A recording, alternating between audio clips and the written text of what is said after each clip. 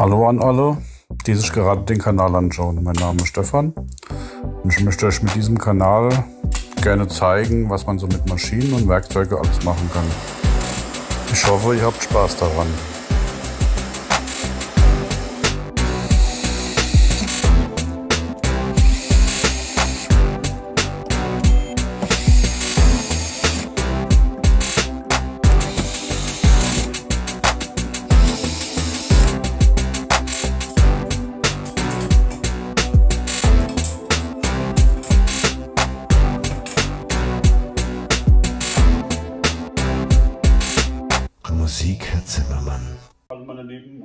Willkommen auf meinem Bastelkanal Mensa Bastelbude. Eigentlich sind das News. Ja, ich möchte euch nur kurz zeigen. Ich habe mir neue Maschinen und Kram angeschafft. Warum? Werde ich euch kurz erklären, weil das sind Sachen passiert, die haben mich richtig angekotzt. Und wenn bei mir irgendwas nicht klappt, dann äh, überlege ich mir, wie kann man es besser machen. Ja, Jetzt habe ich eine Stange Geld ausgegeben und äh, habe mir Maschinen neue zugelegt. Das war, ich zeige es euch am besten erstmal. Und zwar angefangen hat alles mit dieser blöden Arbeitsplatte, die ihr im Hintergrund schon gesehen habt. Ihr seht jetzt auch schon einen Teil liegen. Hier. Das hat angefangen, die Säge auf der Arbeit hat nicht funktioniert die kam nicht richtig durch Holz durch. Selbst ein Schreiner hat es probiert, irgendwas war mit der Säge nicht in Ordnung. Stichsäge ausgefallen. Das nächste. Äh, und, und, und. Dann nächste wollte ich dann zusammenleimen, Kleber ausgetrocknet. Die Schraubzwinge, die ich von der Arbeit mir mit runtergenommen habe, ich, wie gesagt, ich wohne ja bei der Arbeit dabei.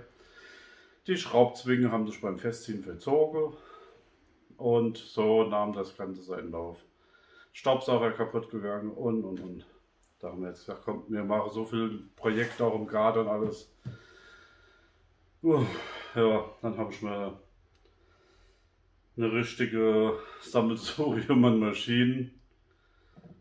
Fragt nach dem Preis nicht. Jeder, der, es, der es ist, also die Sachen alle sieht, weiß, was für ein Wert das war, bis ich mir da eingekauft habe. Da bedanke ich mich auch nochmal bei meiner Frau recht herzlich, dass sie mir das auch ermöglicht hat dass ich mir das überhaupt kaufen konnte. Ja, also, haltet mich nicht für verrückt. Es ist halt so, ich habe einiges an Geld ausgegeben. Das hat mit dem Kanal nichts zu tun, sondern einfach, weil wir auch Privatprojekte machen und ähm, ihr wisst, es gibt nichts Schlimmeres, als wenn man nichts griffbereit hat und dann ist das bei mir, da kann ich kotzen bei so einem Scheiß. Dann äh, wenn alles Mögliche schief geht. Wie gesagt, eine Arbeitsplatte wollte ich nur kurz was machen, alles schief gelaufen. Wie gesagt, von Kleber ausgetrocknet bis sonst was. Ja. Also, da ich ja Festool-Fanatiker bin, habe ich mir die ganze Maschine von Festool angeschafft.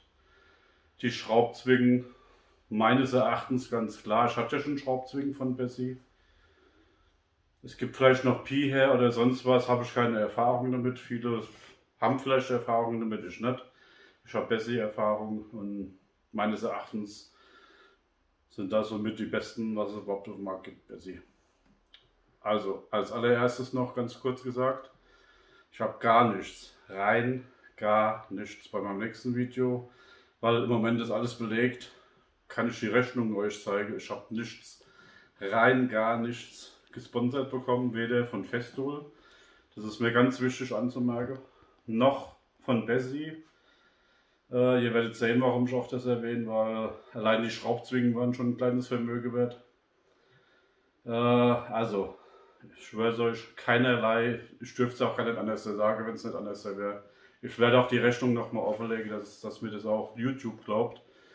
Weil die denken, hey, bis ich bin verrückt. Ihr wahrscheinlich auch, wie gesagt schon. Und also alles, was ihr jetzt seht, was ich euch jetzt zeige, da sieht das aus wie Weihnachtsbasar, ich weiß. Ich möchte auch keinem jetzt irgendwie die Nase lang machen oder sonst was mit dem Video. Das sind halt, ich zeige es euch jetzt auf einmal, die Maschinen, mit denen ich die nächste Zeit arbeiten werde. Auch in meinen Videos. Ich werde auch das eine oder andere Unboxing noch machen, weil in dem Riesenpaket hier zum Beispiel sind noch Bessie-Zwingen drin. Ich weiß zwar nicht, was die mir da geschickt haben, weil ich habe eigentlich nur von äh, 1,25 Meter und die 800er hier. Ich werde mir auch noch mal 600, äh, 300 zulegen, aber Äh, Habe ich im Moment kein günstiges Angebot. Also wie gesagt, die Werkzeuge, ich darf es nennen, Werkzeug so 24, keinerlei Rabatte bekommen. Die günstigsten Zwingen habe ich im Moment bei Diktum gesehen, keinerlei Rabatt bekommen, bar bezahlt, zeige ich euch wirklich auf der Rechnung beim nächsten Mal. Äh, ja, also. Ich würde sagen, wir legen los. Wie gesagt, Staubsauger kaputt gegangen, der steht dahinter, egal. Neuen gekauft. Das ist der MIDI 1. Ich habe mich also lange erkundigt mit der Maschine. Was mache ich, was mache ich nicht. Also, weil äh, ich habe mir das bei äh, Mike's Toolshop angeschaut. Es ging hier darum, ob ich meinen äh, äh, Abschalter drauf anschließen kann. Geht einwandfrei. Ich hoffe, ich mache noch ein Unboxing und Zusammenmontage mit meinem Abschalter, auch fest so. Dann TS55 FE.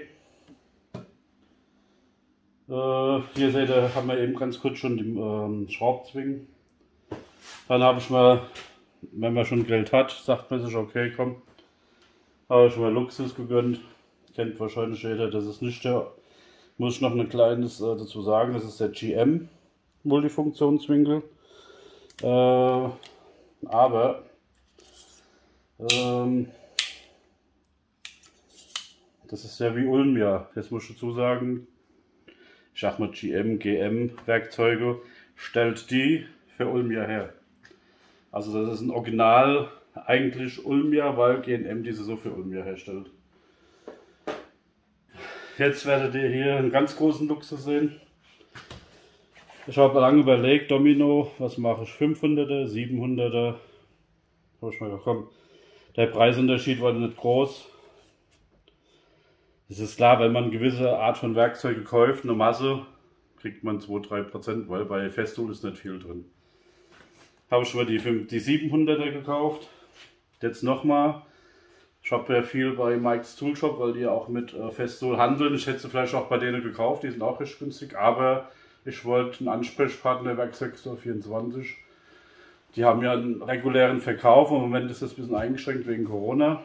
Aber die sind bei mir um die Ecke. Wenn ich was habe, kann ich jederzeit hinfahren. Die Sachen habe ich auch zu 80% abgeholt. Ne, alle bis jetzt habe ich abgeholt bei denen. Und wenn ich an der Maschine was habe, kann ich jederzeit zu denen. Mike's Toolshop ist im Moment das einzigste, wo ich bestellen konnte. Das kleine Teil.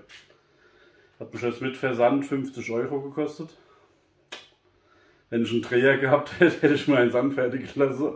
Ich würde mir bestimmt noch mal eine Nummer länger anfertigen lassen von einem Dreher.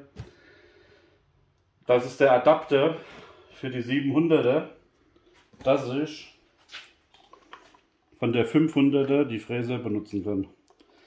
Bis auf den Vierer ist das dann die gleiche Länge. Also ich kann mit denselben Maßen arbeiten. Außer natürlich die Eintauchtiefe. Da muss ich dann ein bisschen aufpassen, das ist ja klar. Das ist ja kein Problem. Wie gesagt, Ersatzfräser noch dazu. Also wie gesagt, das ist der Adapter, dass ich auch 500 arbeiten kann. Wir werden demnächst, ich muss selbst erst üben, ich habe selbst keine Erfahrung damit. Nur, ich fand halt Domino schon immer faszinierend. Ja, dann habe ich mir halt anstatt die 500er die 700er gekauft. Das ist hier das Zubehör noch, da warte ich auf noch was. Hier sind noch im Lieferrückstand, weil auch selbst äh, Festool hat Lieferprobleme. Das sind nochmal so Dübelstangen, dass ich mir meine Dübel selbst schneiden kann dann. Also wie gesagt, nochmal alles selbst bezahlt. Dann hier für meine Oberfräse Schieneneinsatz, achso, an der Wand, schaffst du schon befestigt am Schrank hinter seht ihr die 1400er und die 1080er Führungsschiene. So, ja, dann halt für die Domino noch Fräsaufsätze. Das ist für Leisten, das ist für Rundgestänge. Und das hier ist für Seiteanschlag nochmal zu messen. Wenn man größere Stücke hat und mehr Löcher nebeneinander machen will, hat man es dann einfacher. Alles auch nur selbst gesehen muss ich alles noch praktizieren. Dann habe ich mir gleich noch für meinen, ich habe ja den Roh, ach den Rotex, genau, Roh 150, den habe ich schon länger. Habe schon noch ein bisschen Zubehör gekauft. Natürlich Schleifblätter, hatte ich auch keine gescheiten gehabt. Das waren dann alles so Sachen, warum ich mir mein ja, Portemonnaie geschmälert habe. Dann eine Kantenfräse. Die habe ich mir jetzt von Bosch geholt. Die reicht, das ist eine kleine. Das ist ja nur, wenn ich mal schnell, ich habe ja die große 1400er noch, aber wenn ich mal schnell was abkanten möchte, ist die natürlich optimal.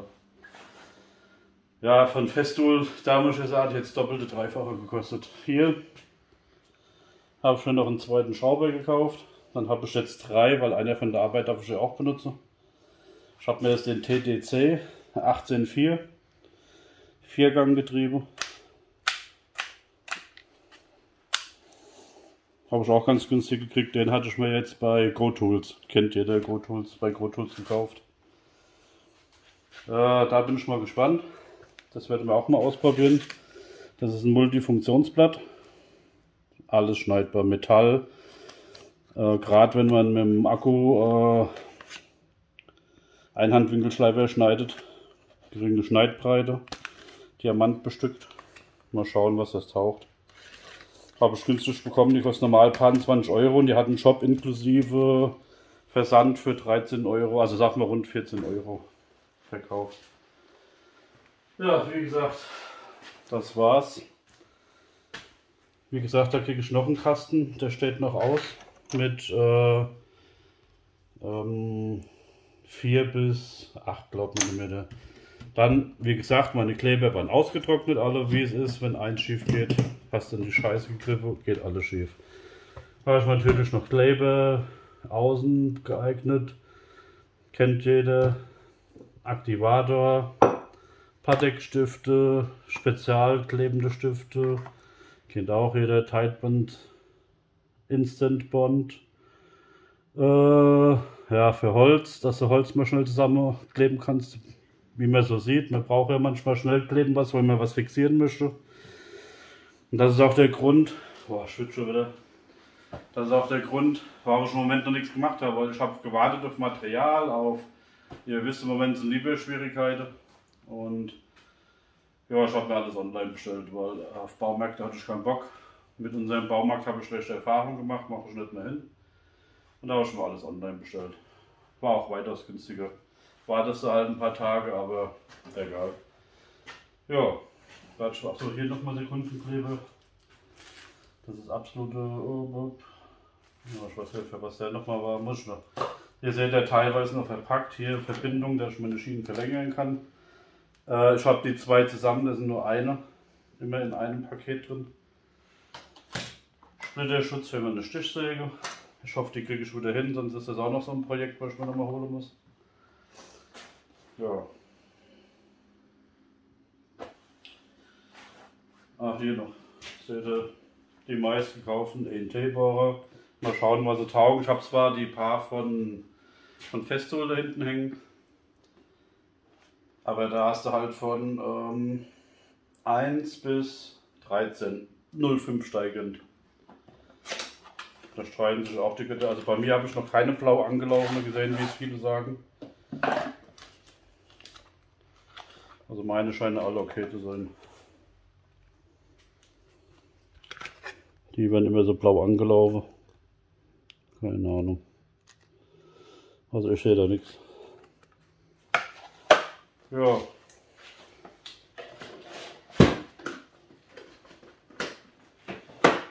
Wir werden alles sehen in Videos, deswegen habe ich auch im Moment keine Videos gedreht gehabt, weil mich das so angekotzt hat. Nur wegen der Tischplatte hast du nur Mist gehabt. Ja, wie gesagt, da kommt jetzt das ein oder andere noch, aber ansonsten. Wir werden noch ein Unboxing machen mit den Bessie Zwing oder hier mit dem Staubsauger noch. Äh, zusammen mit dem ähm, Vorabschalter, den habe ich ja auch schon länger. Ja, schauen wir mal dann, das kriegen wir noch hin. Äh, wie gesagt, seht mir es nach, dass ich mir so viele auf einmal gekauft habe, aber ihr wisst, wie das manchmal ist. Und dann, ich werde in zwei Tagen, werde ich 57 Leute. Wenn man sich da nicht ein bisschen was leisten kann, würde ich sagen, immer Arbeiter gegangen ist, wie ich, ich gehe ja immer noch Arbeiter davon abgesehen, hat man eigentlich was verkehrt gemacht. Ja. Und wenn man wie ich, ich sag halt wie ich ist, ich gehe in keine Kneipen, gesundheitsbedingt so schön, früher auch nicht. Äh, wir leben auf keinem großen Fuß, doch jetzt, okay. Äh, aber also ich würde sagen, wenn man, wenn man 57 will, dann kann sich für ein paar Euro nicht mal Maschine, im Verhältnis gesehen ein paar Euro Maschine kaufen. dass man sich irgendwas ein bisschen angespart hat. Ja, also ist meine Meinung. Das hat ja jeder eine andere Meinung. Aber andere sagen, man hätte das ganze Geld nicht ausgeben müssen. So teures, man hätte es auch liegen lassen können. Aber wenn ihr das hinter mir habt, hinter euch habt, wie ich mit dem Schlaganfall, alles denkt ihr anders über das Leben. Dann gönnt ihr euch auch mal was. Und ich weiß noch nicht, lebe ich morgen noch, kriege ich morgen wieder einen Schlaganfall. Weiß keiner. Von daher, im Moment bin ich gesund. Ich hoffe, dass ich euch damit viel Spaß machen kann noch. Und äh, ja, ist eigentlich mein Geburtstagsgeschenk, was ich mir dann in Verbindung mit meiner Frau dann zugelegt habe. Und ja, wir werden zusammen Spaß damit haben oder auch nicht. Weil alles, wie gesagt, die Domino, die müssen wir, das probieren wir zusammen beim ersten Mal aus. Und äh, ja, da machen wir ein Unboxing, wie gesagt. Und ich bedanke mich recht herzlich für eure Geduld mit dem Zuhören. Und ähm, ja, wir werden uns weiterhin sehen, denke ich, hoffe ich. Und äh, ich wünsche noch einen schönen Restsonntag. Und bleibt alle gesund, das ist ganz wichtig. Und äh, wir werden uns sehen. Tschüss.